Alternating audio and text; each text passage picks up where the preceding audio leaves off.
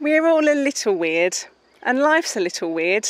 And when we find someone whose weirdness is compatible with ours, we join up with them and fall in mutual weirdness, and we call it love.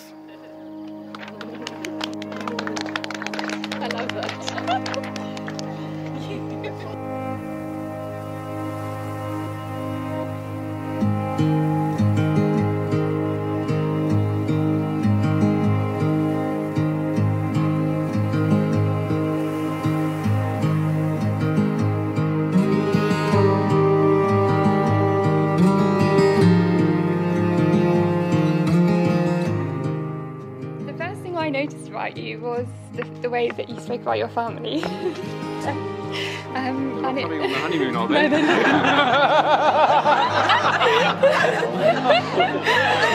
and, um, and it, it made me love you the way that you talk, talked about them so loyally and made me want to be part of your family.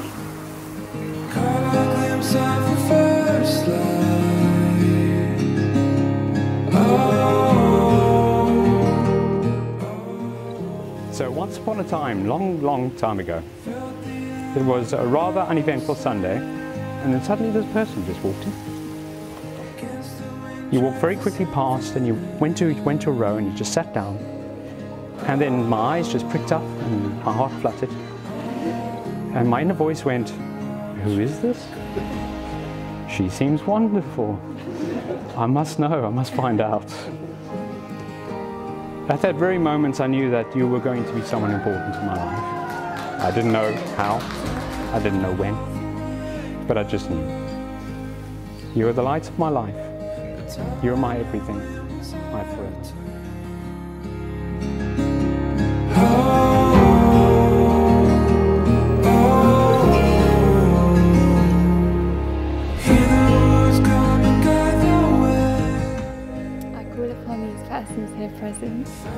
Witness that I, Emily Kathleen Rogers, You could do it. You can do it. take thee, Phillips,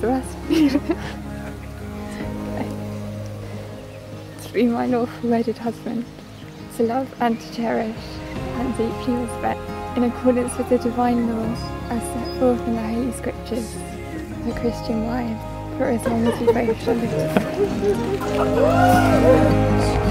And it changes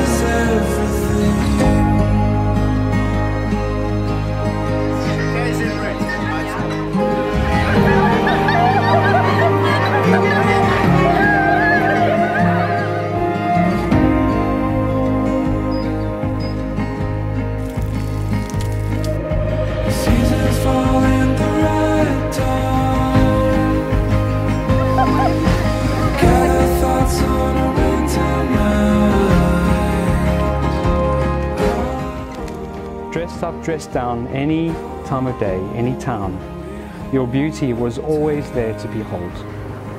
And in my eyes, I knew that you were the one. A cooing chicken in the car, you just being who you are, with your beautiful blue eyes and your cheesy grin smiles. I knew that you were the one. Yet times been tough and full of dismay, but my heart for you I could never betray because I knew in my heart that you were always there.